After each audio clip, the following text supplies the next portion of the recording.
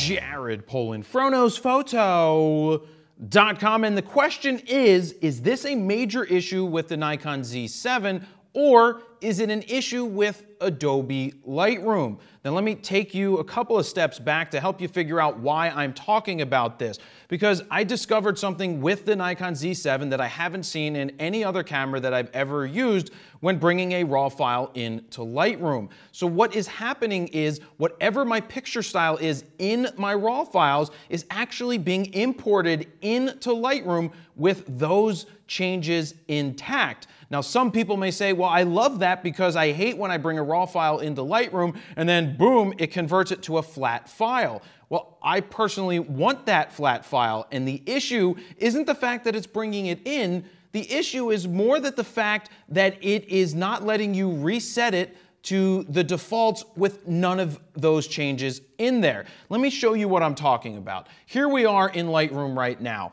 What you can see is the file exactly as it came in from the camera and the RAW file. Over here on the right hand side, you see plus 60 on the contrast. What I did as a test is I upped, I went to, I went to uh, Vivid, picture style, and I even made it more vivid to see what would happen. So then I brought the file in here and you can see plus 60 on the contrast, plus 30 on the saturation, and where it gets even more crazy is it's at 88 on the amount of sharpening.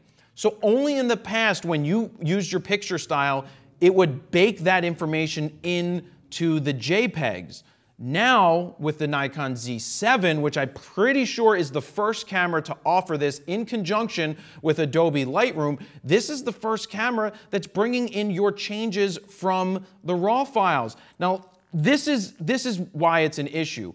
When I change my picture style in the camera, the only reason I do that is to get a better reflection of what my edits may look like when I bring it into Lightroom. Now, I don't want them to be actually brought into Lightroom. The reason is back when I used a D2H back in the day, I would take pictures and my picture styles were set to standard. And what would happen is it would look like it wasn't in focus. It looked like my images weren't sharp. Well, they, they actually weren't because no sharpening was added. So what I started to do was add one on the contrast and maybe two on the sharpening, knowing that when I look at the preview on the back of the camera, that's gonna be more representative of what the file is gonna look like when I finish editing it in Lightroom. But the major issue here is that you can't reset it. So when I go in here and I hit reset, everything is still staying exactly as it was when I brought it in. It's baked in. That I don't like. And I hope this isn't something that Adobe is going to open up. I mean, I think they've opened it up to all camera manufacturers, but up until this point, I think the Z7 is the only one that is taking advantage of this.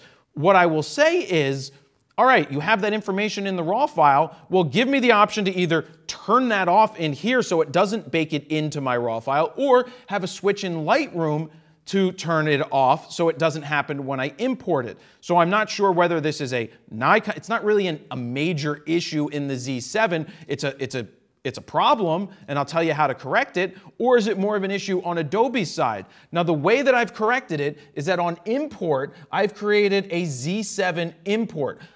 I based it off of the D850's defaults. I went into the D850 RAW file that comes in as default. Everything's zeros across the board, basically. And I set that, and when I import files with the Z7, it defaults to that. That's one way around it. But if you go ahead and hit reset, reset will take it back to the defaults that the RAW file already had. The other way around it is to come in here into Lightroom and go zero, zero, come down to whatever you want your sharpening to be, and you could say 40 with a radius of 1 and a detail of 20.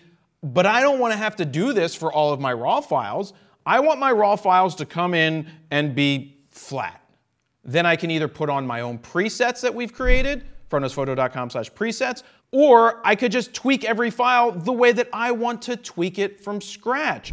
Some people may like that this is going to be there, but having no option to have a switch to turn it off in camera or turn it off in Lightroom is an issue because even the standard, even if you just left this on the picture style standard, when you bring that in, it's doing like negative six on the contrast and it's doing something to the clarity. It's always doing something that I don't want it to do. So I don't want to I don't want to sit here and take a picture and have no picture style on here because it's not very representative of what I want my final image to look like. And when I say what I want it to look like, some of you may say, "Well, why don't you just leave it set perfectly to how you would want it to be when you bring it in?"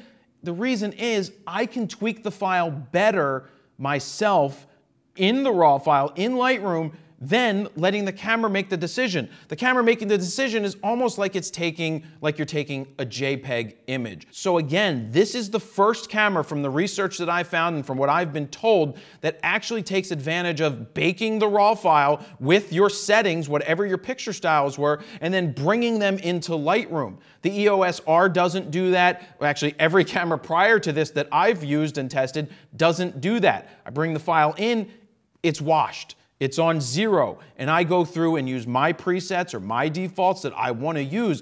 So right now, when I import it, I have to import it with a de default that I set, a preset for my Z7. So everything comes in at zero the way that I want it to be, and then I tweak from there.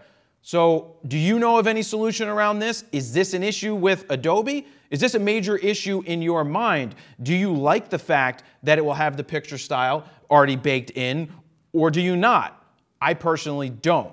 And if you're wondering where the real world review is of the Nikon Z7, it's actually over there being edited by Steven. It's getting there. We're almost done and ready to put it out. We just have to make sure we do everything so that it's the best review possible, and we will have it out as soon as we can. Now, I did mention presets. If you've been looking for presets, we've created 14 custom ones. Go to froknowsphoto.com slash presets. You can play with each one of them and see befores and afters and decide if it's for you. So thank you guys very very much for watching. Jared Polin, FroknowsPhoto.com. See ya.